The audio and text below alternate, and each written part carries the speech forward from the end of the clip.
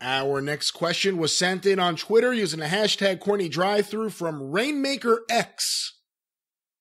Longtime listener of the show, I recently heard you mention that Tom Prichard started a wrestling school in Knoxville, Tennessee.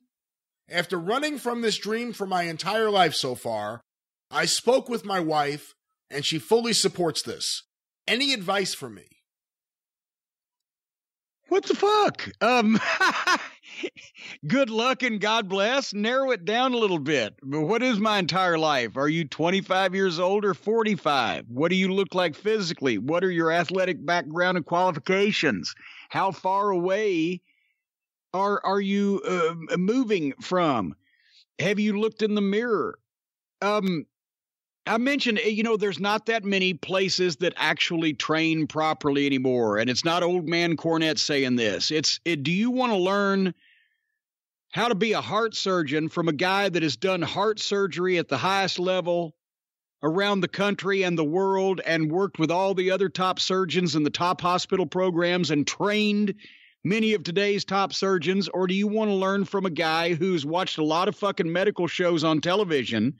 and took a correspondence course.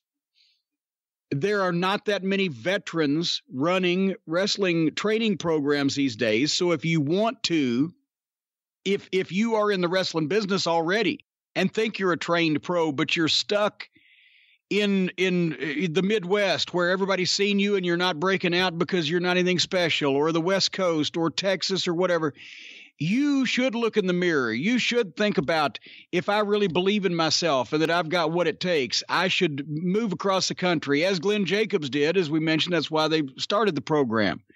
He, he moved to Knoxville to learn how to wrestle in Smoky Mountain Wrestling to further his career. He was already a pro, but he needed to take the next step and be trained by a guy like Tom Prichard personally who has not only trained everybody, but will, who will teach you properly and not bullshit you. He's not going to take you into wrestling school and try to teach you a moonsault on the second fucking day of training, just like when you go to medical school, you don't pick up a scalpel, you know, in third period and start cutting on people. He's going to teach you to be safe and how to do things things the right way so you don't hurt yourself and cripple yourself or your opponent. And then you're going to learn psychology and etc. So training with veterans is is obviously the way you want to go instead of a guy who was trained by a guy who was once seen on television. But you have to hold up your end of the bargain as a wrestling school trainee, a prospective pro wrestler.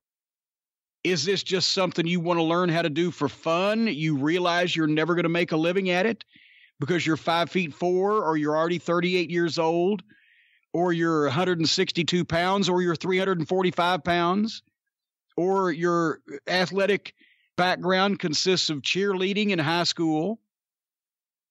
Are you willing to get in the gym? Do you already have are you already in somewhat the shape of a professional athlete or can you play one on television?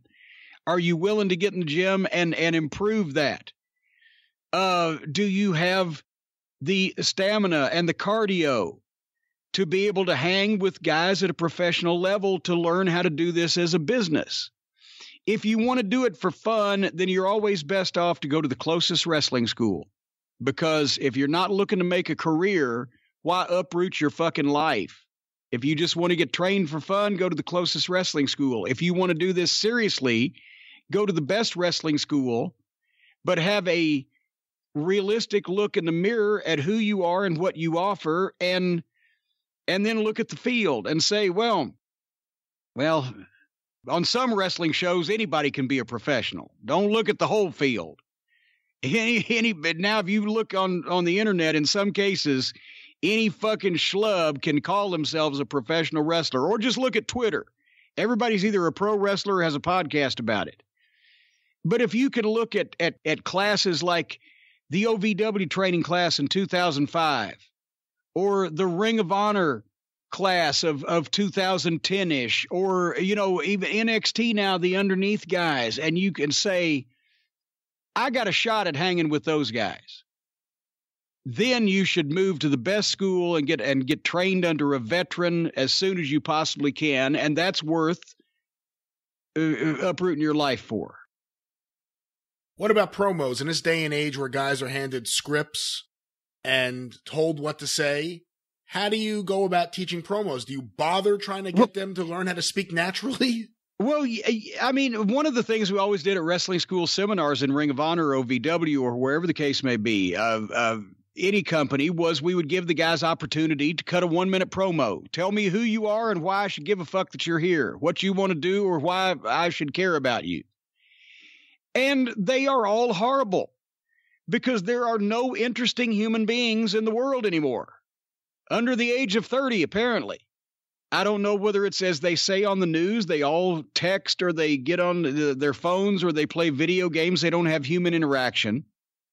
But no, you just do not need to be the fucking you know the the the athlete and the wrestling technician you need to have a personality you need to have an engaging way of speaking and a, a, a personal magnetism that makes people want to look at you um, my guy, you know, here's the they used to say Tony Charles was one of the most bland guys because all he did was the technical stuff and the scientific stuff. He was a fucking hoot backstage.